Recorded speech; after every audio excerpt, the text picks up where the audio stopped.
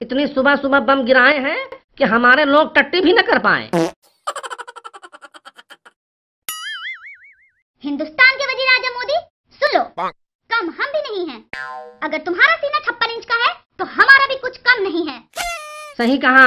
इनके भी दो दो हैं अट्ठाईस अट्ठाईस इंच के। सुन लो ए हिंदुस्तान के वज़ीर आज़म मोदी मुकाबला करना है तो आ जाओ मैदान में। हमारे यहाँ भी आर्मी के मैन फोर्स तैयार हैं।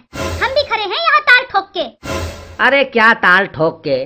ठोका कैसे जाता है? ये मैन फोर्स से नहीं एयर फोर्स से पूछो। आह ऊ आउच का भी मौका नहीं दिया। अभी अभी हमारे रिपोर्टर चाँद नवाब बालाकोट से ऑनलाइन सूरत हालात बता रहे हैं। हाँ हाँ चाँद नवाब कहिए क्या खबर है? मोहतरमा नाजनीन यहाँ सूरत हालात बयां कर रहे हैं कि हिंदुस्तान झूठ बोल रहा है। हिंदुस्तान का झूठ बेनकाब हो चुका है। सुना आपने? हिंदुस्तान का झूठ हो चुका है बेनकाब। ऐसा कह रहे हैं हमारे रिपोर्टर चाँद नवाब। हाँ तो चाँद नवाब जी बताइए कैसा झूठ बेनकाब हुआ है? पोस्टमार्टम के हिसाब से 300 आतंकवादियों में से महज 20 की मौत हिंदुस्तानी बम फटने से हुई है। और बाकी की? बाकी 280 की मौत गांड फटने से हुई है।